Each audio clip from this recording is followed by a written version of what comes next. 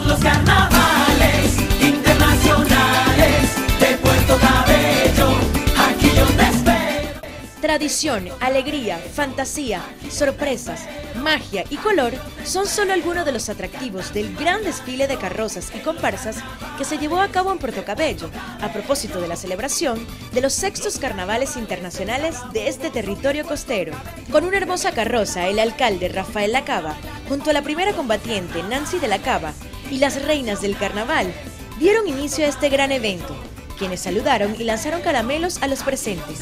Este importante despliegue reunió una gran cantidad de bailarines, músicos y artistas en escena, quienes recorrieron la Avenida La Paz desde el distribuidor La Beliza hasta el terminal de pasajeros Juan José Flores. Se evidenció la presencia de 8 carrozas y 40 comparsas, incluyendo bandas show y danzas, cuyo motivo alegórico fue la celebración del Día del Amor y la Amistad, influenciada por la creatividad del porteño sin dejar de mencionar la diversidad de disfraces infantiles y de adultos. Sin lugar a dudas, un espectáculo de altura que quedará en la memoria de propios y temporadistas, quienes disfrutaron de un acontecimiento lleno de color y fantasía, dejando en evidencia que los carnavales internacionales de Puerto Cabello se han convertido en referencia turística obligada. Son los carnavales